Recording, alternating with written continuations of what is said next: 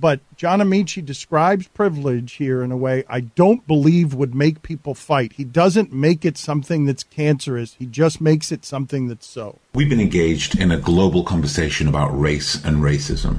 You've probably had discussions at home, at school, or at work, and in those conversations, you've probably heard the term white privilege. You may have even had this term used in a way that felt like an insult or an accusation. Others will have told you that it's all just made up to make white people feel bad, and none of this is right.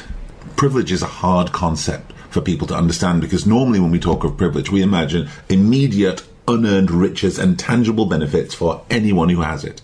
But white privilege and indeed all privilege, is actually more about the absence of inconvenience, the absence of an impediment or challenge, and as such, when you have it, you really don't notice it. But when it's absent, it affects everything you do. There are lots of types of privilege out there.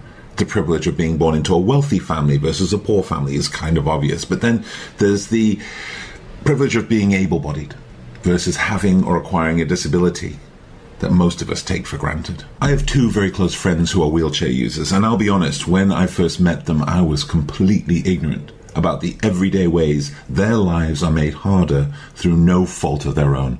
Some of these ways are simply thoughtless, but some of them are just the way we live, just the way we build infrastructure, just the way everything works that just makes their life harder than mine. That's just one of the ways that I'm privileged. And understanding that, embracing that, doesn't make me a bad person.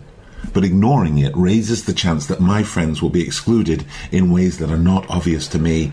And as their friend, I can't allow that. There's a good chance, as a white person watching this, your life is already hard. Every day you have to overcome some difficulty or challenge just to get by, but you can still have white privilege. White privilege doesn't mean you haven't worked hard or you don't deserve the success you've had. It doesn't mean that your life isn't hard or that you've never suffered. It simply means that your skin color has not been the cause of your hardship or suffering. There is nothing but a benefit to understanding our own privileges, white and otherwise. It brings us closer to those who are different. It helps us be vigilant about the ways we treat others different than us. It helps us make a society that is fairer and more equal. Having white privilege doesn't make your life easy, but understanding it can help you realize why some people's lives are harder than they should be.